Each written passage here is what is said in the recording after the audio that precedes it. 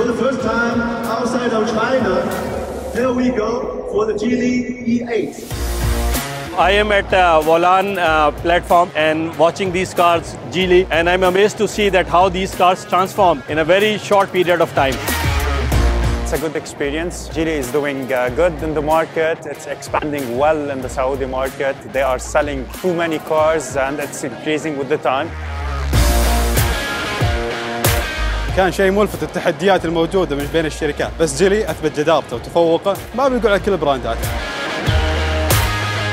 على هذا الانجاز من معرض السيارات اللي الحين قاعدين نشوفه يعني شيء شيء شيء عظيم.